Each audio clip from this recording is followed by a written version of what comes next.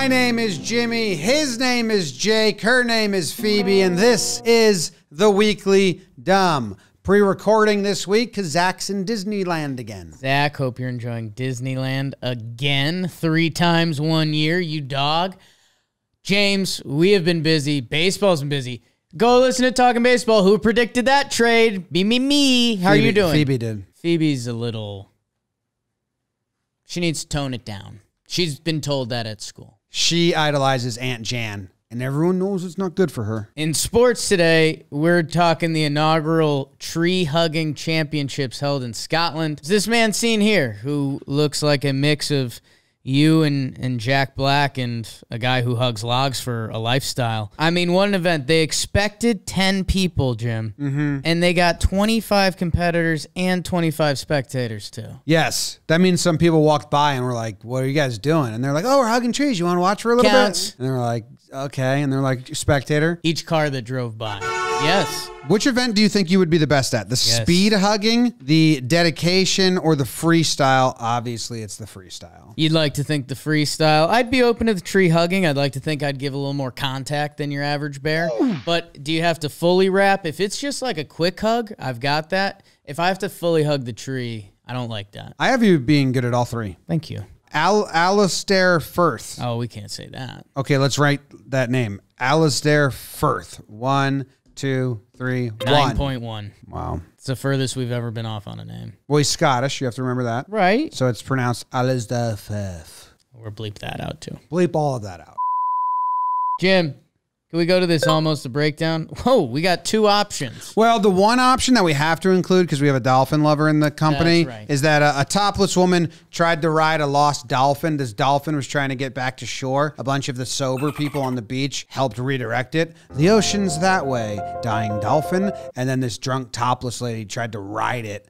And they all ran out and they were like, no, no, you're killing that dolphin. So I hope we can't Photoshop anyone in that picture. that would be tough. The the the real the real almost a breakdown is this German man who used his hands to smash 148 coconuts in one minute. Now he was going just one hand, Right.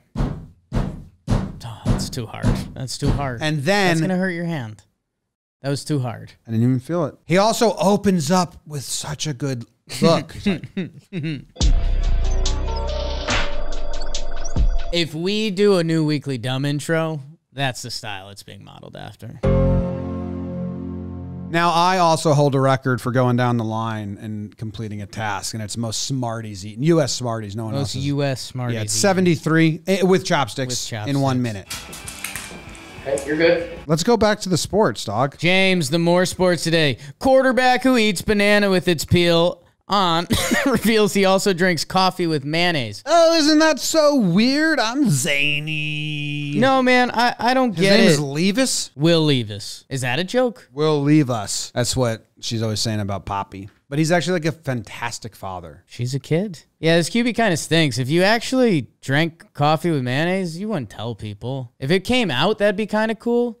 But the fact he's like posting it on his social media. Yeah, look what I do. All right, so we're out on this quarterback. Sorry. Let me it, see your eyes.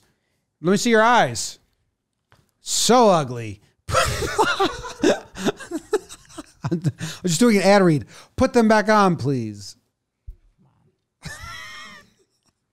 so hot. Nice shady rays. That's messed up. That's just the ad read, man. That's what they told me to say. Bend and Blaze high yoga classes are all the buzz these days. Have you seen Have you seen this one? No, Bend and Blaze high yoga classes are all the buzz these days. I don't believe it. I think there's, this is the same as a tree hug. Like 25 people showed up. that was too far. That ad read was too far. I'm just reading the script. They didn't have that in there. I do. Uh, ask, the script. Ask Coas to take glasses off. That's- Call him ugly. That's low. It's That's nothing low. personal, man. That's low, man. All right, the police are getting swan handling lessons. So when I have to go get a swan in uh, Gloucestershire, they uh, can handle them. Swans are super feisty, so that is tough. Let's see. We've got a quote from Dean the chef. I thought it was just going to be Dean in a last name, but it was Dean the chef. You don't know. It could be. His opening quote is I'm a fisherman. and I've been around swans and I know how protective their mother birds are. In other bird news, a man crashed into a shop, ran off, and then was attacked by an emu. I did a whole report on the emu wars in Australia. They had uh, the, like the Gatling gun or whatever, machine gun from World War II, and they practiced on the emus, and they would find some still alive with like five bullets in them. Emus are tough. So they found out the guns didn't really work. So what they did is they drove in a pickup truck and like Forrest Gump chased him down and then bopped him on the back of the head to kill Sorry, him. Zach.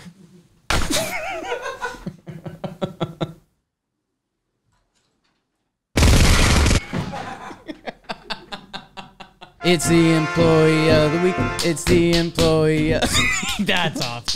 Deep in the heart of Texas. You like that? Who's the employee of the week? says here doesn't. Got me. That's what it says. There's no Doug, right? I feel bad. I was racking my brain. Coach ball games, dad. Right. Love, to dig. My dad's name is Doug, and he, he loved to dig. He uh, Has Dan Dan the Tech Man won it? Because we can do like floorball and he built a mini golf course. Yeah, he has won it. What about his friend? I like the idea of Dan Dan the Tech Man asking his friend for a picture of him so we can put it on Employee of the Week. Mike.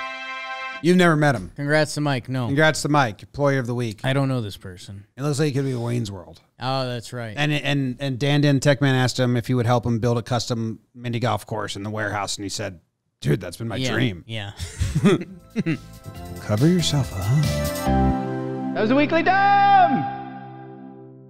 This episode of Weekly Dumb was brought to you by Shady Rays. Did you see how good Jake and I looked? See how bad he looked when he took them off? I'm just reading the ad copy. Go to shadyrays.com, use code DUMB for 50% off two plus pairs of premium polarized shades. Every pair is backed by the lost and broken guarantee. They'll replace them if you lose or break them. Shadyrays.com, code DUMB, 50% off two plus pairs of premium polarized shades.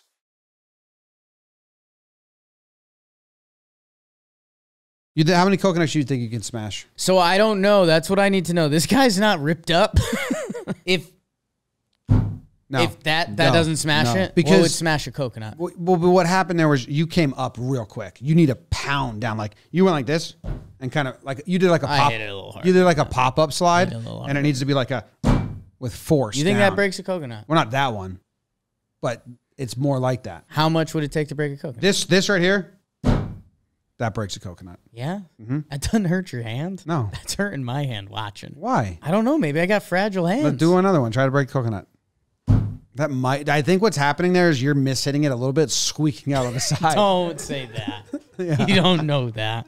I think You're you- not him. You're not I him. think you mishit that one a little bit. That's all I'm saying. I don't post anything to social media. That's weird. You know what I did? I uh I I peeled half a banana, so it's like a boat, you know? Yeah. And then I took peanut butter and I spread it on the top half of the boat. So like the bottom of the banana is peeled. So it sat on the table, the bottom still had to peel and the top didn't.